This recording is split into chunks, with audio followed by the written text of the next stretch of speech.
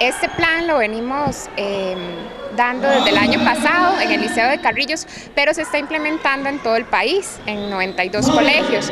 La idea es posicionar alimentación saludable y actividad física en toda la población estudiantil, entonces lo estamos dando en este momento en el Liceo de Carrillos. ¿En el cantón de Poá solamente acá o se tiene previsto otros lugares? Solamente acá lo estamos implementando. ¿Cuál es el proceso que sigue ahora después de esa actividad? Sí, vamos a tener una actividad familiar donde pensamos involucrar a los padres de familia para que también colaboren en esta tarea que es la implementación de alimentación saludable, para que les hagan meriendas a sus hijos, meriendas saludables, para que los lleven a los centros educativos, porque esa cultura de meriendas no está instaurada en los centros educativos, en estudios que se han realizado, entonces queremos posicionar esos hábitos. ¿Con qué cierran esta actividad y cuándo sería? Eh, vamos a cerrar con un rally en la laguna de Fraijanes con aproximadamente 100 estudiantes y padres de familia.